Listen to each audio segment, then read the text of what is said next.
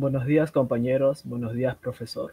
El día de hoy a mi grupo le ha tocado exponer el tema de ilusión mineral del curso de evaluación de minas con el docente Jaime Mayor Barrojas.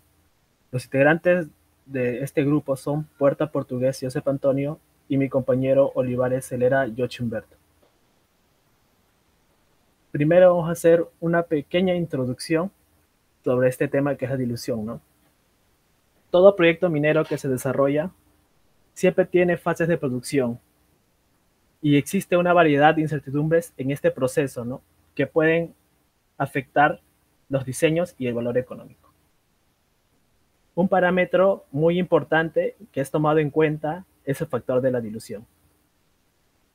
Se deben diferenciar también los recursos in situ y los recuperables. La definición precisa de, de mineral recuperable varía en general sobre la mineralización que puede recuperarse y procesarse mediante la minería. Cualquier evaluación de recursos para que se convierta en una evaluación económica tiene que ser recuperable y por tanto debe incluir cierta dilución y pérdida de mineral. Ahora, ¿qué? vamos a responder la pregunta, ¿qué es la dilución? La dilución tiene varias definiciones dependiendo del tipo de dilución que nos, que nos toca entender. Frecuentemente se le define como el tonelaje del material extraído que está por debajo de la ley de corte. Este tonelaje puede ser desmonte o también puede ser mineral de muy baja ley que no alcanza la ley del corte. Otra definición también es la reducción en la ley por cantidad de material por debajo de la ley mínima de corte, o también material estéril que se mezcla con material económico, ¿no? En realidad, la dilución no significa solamente bajar la ley de un mineral, sino es elevar también mucho, en muchos casos, ya que el envío de una tonelada estéril a la planta es más costoso que el envío de una mineral que tiene que es económico. Bueno, aquí en esta imagen tenemos el ejemplo de una dilución y donde vemos el mineral, ¿no? En la. Aquí un ejemplo de qué es la dilución minera, donde vemos el ancho de la beta, donde hay una caja techo y una caja piso, donde tenemos eh, el ancho de la labor y el ancho de la beta, ¿no? Como AG y AD, el ancho de la labor. Otra pregunta sería, ¿dónde ocurre la dilución? La dilución ocurre cuando se emplea un determinado método minado o cuando se hace una sobreratura, ¿no?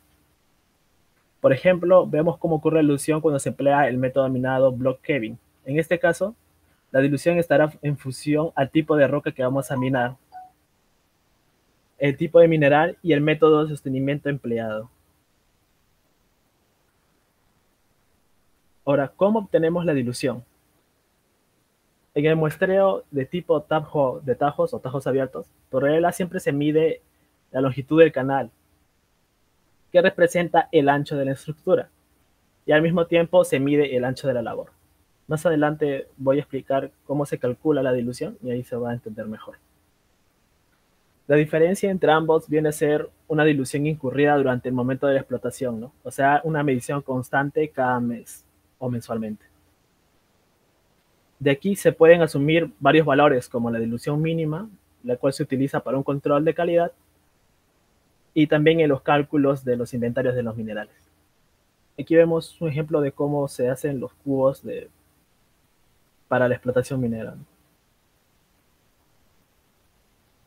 También una definición muy importante es el ancho de minado. ¿no? ¿Qué se considera el ancho de minado? Pues durante la explotación de una estructura mineralizada, de acuerdo a qué tipo de método de exploración vamos a usar, además del equipo que se usa, se incurre en una dilución que se tiene un ancho de minado, ¿no? También hay un ejemplo, ¿no? Que es el ancho mínimo de minado, ¿no? Y que es el mínimo ancho que permite a una persona hacer o accionarmente la explotación, ¿no? Poder explotar la beta. Aquí vemos otra vez un ejemplo donde vemos las partes donde hay dilución o donde se genera dilución, la beta y la marca de geología, ¿no? O sea, que nosotros lo ponemos para explotar. Ahora hablaremos de los tipos de dilución. Estos tipos aparecen son varios tipos de dilución que existen. Aquí vamos a explicar algunos cuantos, ya que la mayoría son casi lo mismo y tienen sinónimos. Tenemos lo que es la dilución de producción, que este ocurre cuando se empieza el mismo proceso minero. ¿no?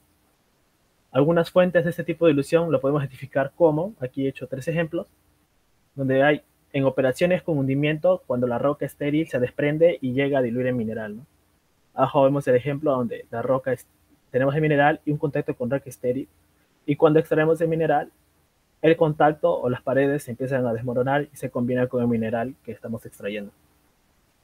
El otro caso sería cuando en operaciones con relleno el material que se utiliza para sostener se mezcla con el mineral troqueado. Aquí vemos el material de relleno que usamos para sostener la labor. Aquí tenemos el mineral y tenemos el mineral que está fragmentado. ¿no? Entonces en este momento cuando se sostiene se mezcla el mineral que hemos utilizado o el mineral troceado que está fragmentado con el material de relleno.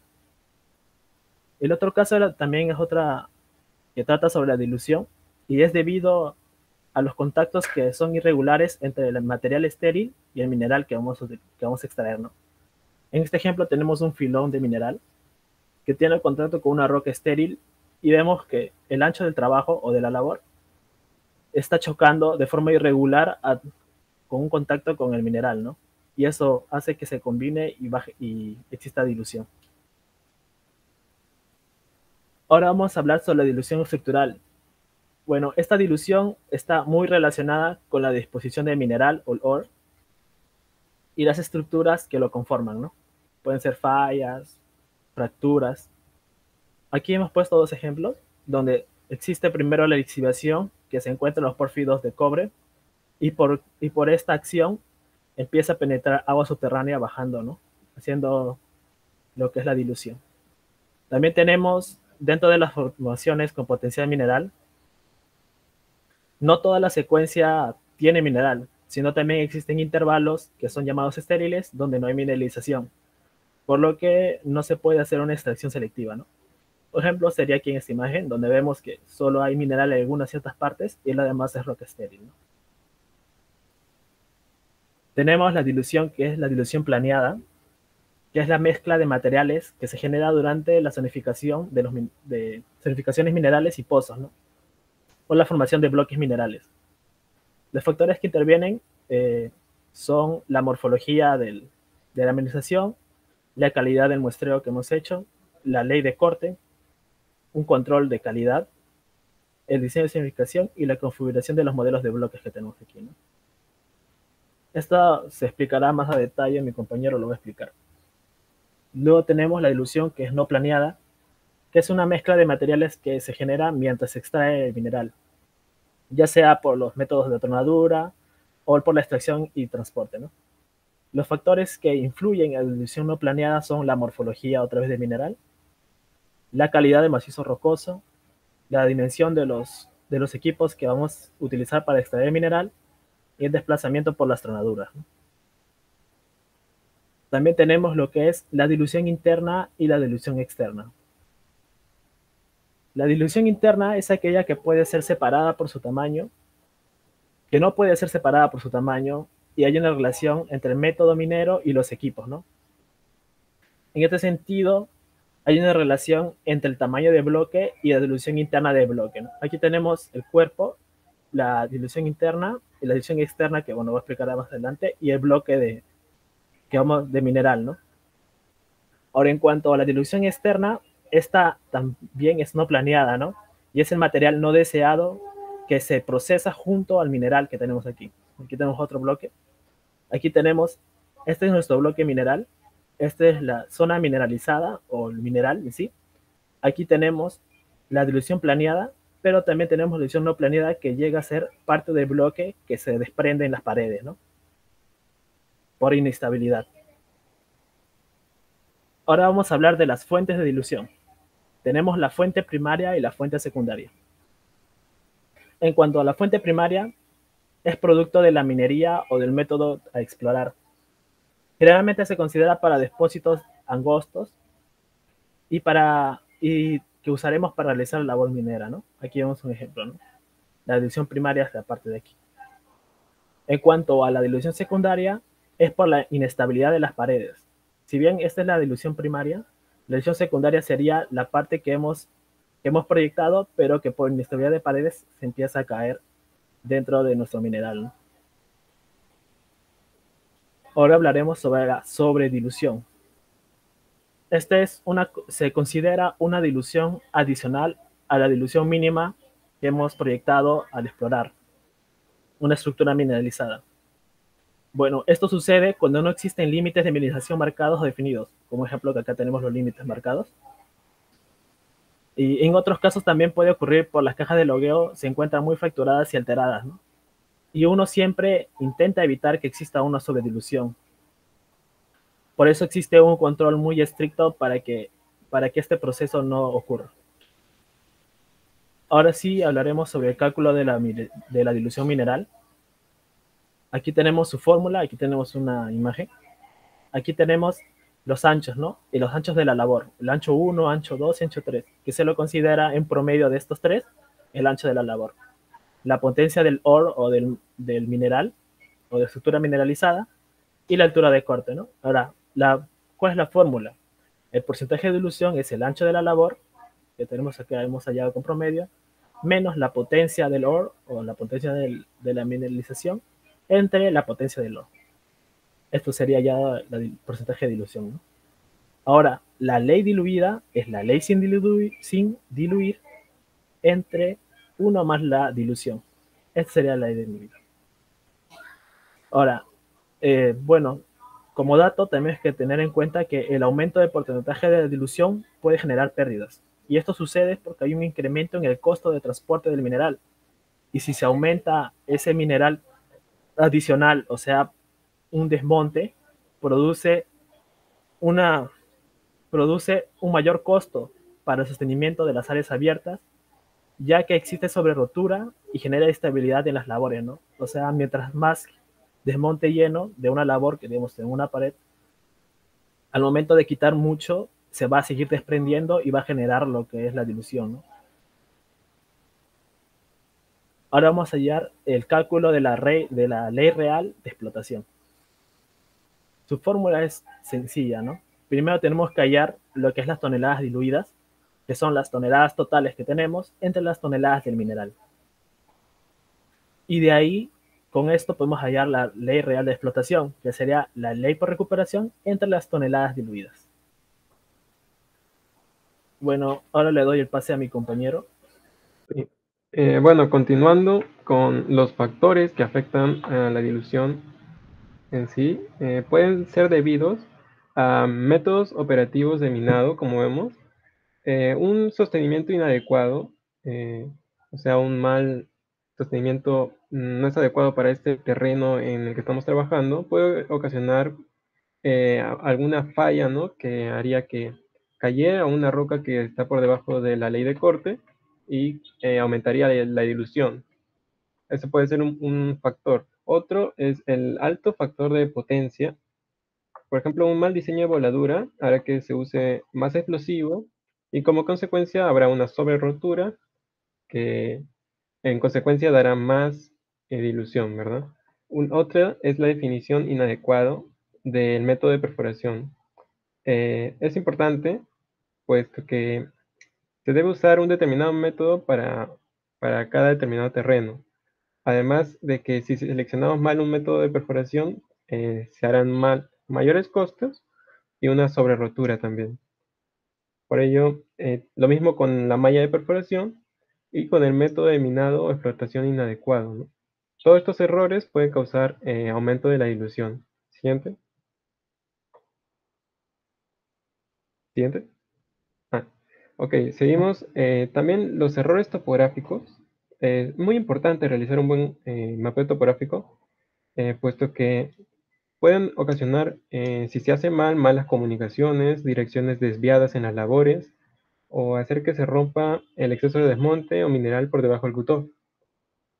También los taladros desviados ¿no? pueden ocasionar un descontrol eh, puesto que pueden producir unas roturas más allá del diseño que se ha planteado inicialmente. También un lento ciclo de limpieza o una perforación desalineada eh, que se sale de la dirección puede producir una sobre-rotura y, aumentar la dilución. Siguiente. También las condiciones del terreno, que puede ser suelo o roca, también es muy importante, puesto que tenemos rocas encajonantes de mala calidad, se puede producir algún, alguna caída de material o límites irregulares en los cuerpos mineralizados también eh, hacen que se caigan material y aumenten la dilución eh, de nuestro mineral ¿no? de alta ley. O sea, esto es material que tiene una ley por debajo de la ley de corte, se mezcla con el, material de mayor ley y aumenta la dilución. Esto puede ser también por diaclasas y fallas o por el minado de vetas muy estrechas. Siguiente. Bueno, acá tenemos eh, un proceso eh, un poco general de cómo se controla la dilución en las minas. Eh, cada, lo que hemos notado es que algunas veces las minas no siguen de manera exacta ¿no? este proceso, hacen sus propios procesos, pero ese es un proceso general que he encontrado y que es muy, muy interesante ver, ¿no? Cómo se inicia con un muestreo, que se realiza tomas de muestra en todas las labores para posteriormente realizar el cálculo de la dilución. Se actualiza la topografía de los canales muestreados, el levantamiento de la labor, todo esto para luego procesarlo con un software y, modelar ¿no? la mina en sí. También se ve bien la geología de mina con las diferentes áreas, se interpreta, ¿no? Luego se hace el, el OR control, que recibe las leyes, controla la calidad, el control de calidad, ¿no? Con el QAQC construye los sólidos de, los minerales, de las labores, en, el software y corre la estimación de las leyes, marca el ORE en los tajos, controla la perforación y controla la dilución. O sea, esta área de OR control es el que se encarga de la mayor parte del proceso de control de dilución. También tenemos el área de la mina, ¿no? que es la perforación y voladura, que ya es la que realiza ¿no? la malla de perforación, eh, el explosivo de la voladura, ¿no? Y es que el que realiza, se, realiza las labores de desquinche para evitar que caigan las muestras de bajo ley de corte. Luego se realiza ya el cálculo de la ilusión, que también la realiza el OR control, y eh, se marcan los pisos, en los techos, para tener un adecuado levantamiento de los tajos. Luego ya se hace el modelamiento ya con un software especializado, como puede ser el MindSight, ya se calcula la dilución. Eh, generalmente se hace mensualmente en cada labor que se haga. ¿no? Siguiente. Bueno, acá vemos un flujograma de un NOR control de Hochschild, eh, en el que vemos en cada eh, fila, vemos un área que se encarga de una parte del, del control total de la dilución, ¿no? Tenemos el área de geología, de topografía, de OR control, de modelamiento, de laboratorio, planeamiento y de mina. Entonces, eh, por ejemplo, el área de geología es el que toma las muestras en, canales, envía las muestras al laboratorio. Por ejemplo, realiza el mapeo de los tajos y galerías, los planos, secciones, controla los modelos en el MindSight. Luego se pasa al área de topografía, que ya levanta los canales de que se ha tomado los muestreos y las labores, ¿no? Todo esto se construye planos, ¿no? Se construyen los sólidos. Todo es para construir sólidos en, el software y calcular la dilución y eh, construir. Y con esto se puede hacer la cubicación, ¿no? De la mina. Luego seguimos con el OR control, que ya con las muestras que han sido analizadas en el laboratorio, realiza el adecuado QAQC de las leyes, construye los sólidos, eh, se encarga de las toneladas, las leyes, ¿no? Controla la operación, controla la dilución, el manejo de las canchas, la alimentación de la tolva, el reporte de leyes diarias y un reporte semanal también. Entonces el OR control es muy importante en este tema de la dilución. Eh, luego tenemos el área de modelamiento, ¿no? que ya se encarga de todo lo que es el software el laboratorio que analiza las muestras y el planeamiento que ya realiza el plan semanal de minado. Y finalmente ya se pasa al área de minería que ya realiza lo que son las labores, la perforación de voladuro y extrae y, acopia el mineral en sí. Siguiente. Bueno, la dilución también está muy relacionada con qué método de minado elijamos para, para explotar ¿no? este mineral. Eh, puesto que está muy ligada a la sobreexcavación también.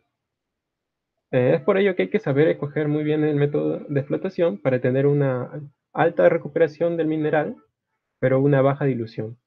Eso es lo que se busca.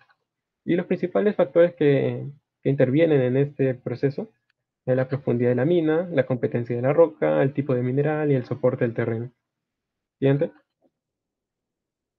También, como vamos a ver, la dilución y la recuperación mineral están muy relacionadas, puesto que generalmente una alta recuperación eh, implica también la contaminación del mineral de alta ley desde las paredes, que generalmente son de baja ley, donde se contamina y aumenta la dilución. Entonces, una alta recuperación mineral generalmente eh, implica una alta dilución. Eh, vamos a ver cada uno de los métodos de minado para ver cómo, eh, qué tanta dilución eh, producen. Cada uno de estos. Y ver cuál, cuál es el más efectivo, ¿no? Cuáles son sus ventajas y sus desventajas también. Por ejemplo, el Open Stopping, que es un método eh, autosoportado, presenta una mayor pérdida de mineral, o sea, una recuperación no tan alta, puesto que un poco del mineral queda como pilares que sirven como apoyo, ya que estos son métodos autosoportados y no usan relleno, ¿no? Y generalmente puede quedar entre un 20 y un 40% del mineral en estos pilares. Las ventajas es que tiene una alta productividad, una baja dilución, pero no es un método tan selectivo y tiene altas pérdidas en los pilares. Siguiente.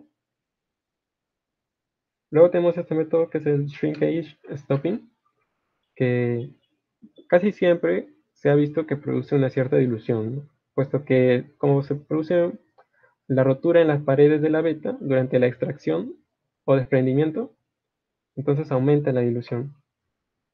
Si bien se puede recuperar entre un 85 y un 95% del mineral, generalmente tiene diluciones de 5 a 25%, excepto en algunas condiciones.